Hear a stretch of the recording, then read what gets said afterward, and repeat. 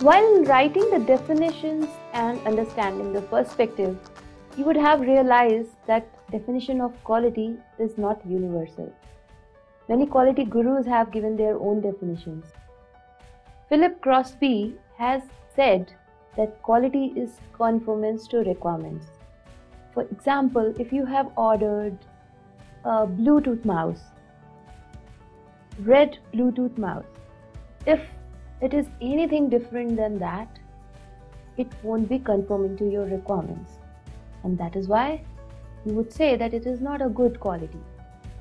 Another definition given by Joseph M. Juran is that quality is fitness for use.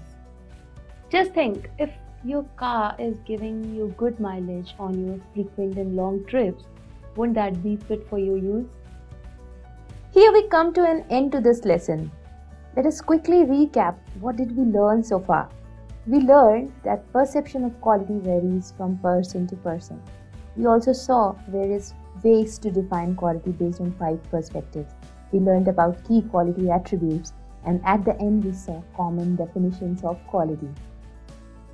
Congratulations as you have finished the first lesson, the very basic step in the quality journey and the next lesson is on evolution of quality wherein we'll discuss the evolution of quality management throughout a century and we'll see some historical aspects of that.